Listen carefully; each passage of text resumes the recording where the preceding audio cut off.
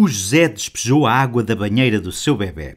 O gráfico abaixo mostra a relação entre a quantidade de água restante na banheira, em litros, e a quantidade de tempo que passou, em minutos, desde que o José começou a despejar a banheira. E depois fazem-nos três perguntas.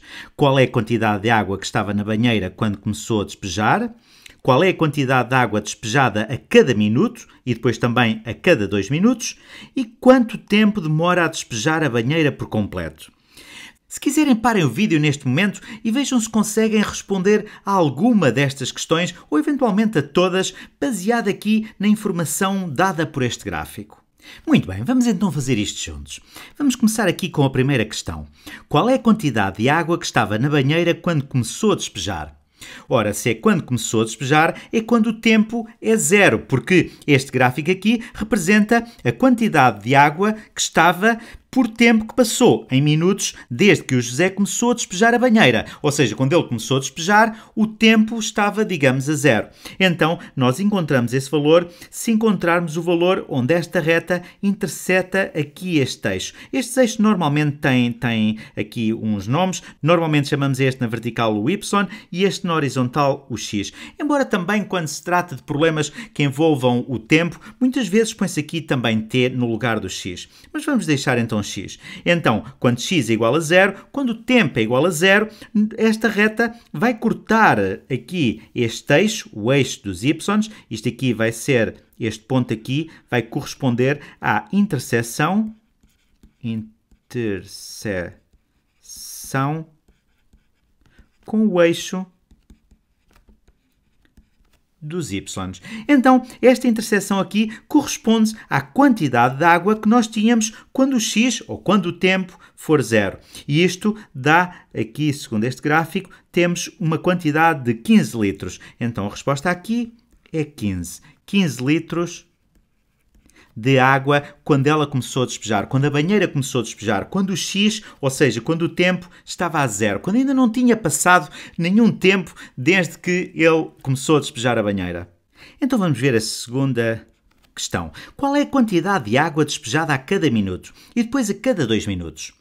Muito bem, o que eles nos estão a perguntar, no fundo, é qual é que é o ritmo a que aquela banheira está a despejar, qual é que é a taxa de variação de quantidade de água dentro daquela banheira. Então vamos ver aqui dois pontos convenientes. Vamos escolher aqui o tempo 1 um minuto. Quando o tempo é 1 um minuto, nós tínhamos 12 litros dentro da banheira. E quando o tempo é 2 minutos, depois de 2 minutos, temos uh, 9 litros dentro da banheira. Então, quando passaram, quando passa um minuto, quando passa de um minuto para dois minutos depois de que a banheira começou a despejar, portanto, quando nós aumentamos aqui um minuto, nós vamos despejar quanto? Vamos despejar, vamos passar de 12 para 9. Despejamos 3 litros, portanto, menos 3 litros. E como esta é uma reta, este tipo de regra deve-se manter. Se nós avançarmos mais um minuto, se avançarmos mais um minuto, vamos despejar mais 3 litros. Ou seja, vamos ter menos 3 litros de água na banheira. Ou seja, o despejo, o despejo está a ser feito a, a um ritmo de 3 litros por minuto.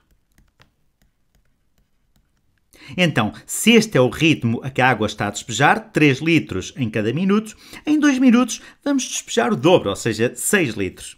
Então vamos despejar 6 litros a cada 2 minutos. E para nós vermos aqui o ritmo a que a água está a despejar, nós observamos no fundo o declive desta reta. Ou seja, o declive desta reta representa o ritmo a que a água está a sair da banheira e aqui a interseção com o eixo dos y representa a quantidade de água que estava dentro da banheira no instante x igual a zero, ou seja, no início do processo. Finalmente perguntam-nos quanto tempo demora para despejar a banheira por completo. Se quiserem, parem o vídeo e tentem responder esta pergunta. Muito bem, então, quando a banheira despeja por completo, nós não vamos ter água nenhuma dentro da banheira, portanto vai corresponder à situação em que o y é zero. E essa situação vai corresponder a x igual a 5, vai corresponder a este ponto aqui nesta reta. Então, este ponto aqui é a interseção da reta com o eixo dos x's. Interseção da reta com o eixo do x. Então, este ponto aqui representa o valor de x quando o y é zero. Neste caso, quando não existe água nenhuma dentro da banheira. Neste caso, isto corresponde a um certo tempo. Corresponde ao tempo x igual a 5. E aqui o x é dado em minutos. Então, se nós nos perguntarmos quanto tempo demora para despejar a banheira por completo, a banheira por completo, isto vai ocorrer, isto vai acontecer quando o x for igual a 5, ou seja, depois de 5 minutos. E isto faz todo o sentido, porque se nós estamos a despejar a um ritmo de 3 litros por minuto e começamos com 15 litros, então nós precisamos de 5 minutos para despejar todos os 15 litros da banheira. Faz todo o sentido. Espero que tenham gostado deste exemplo.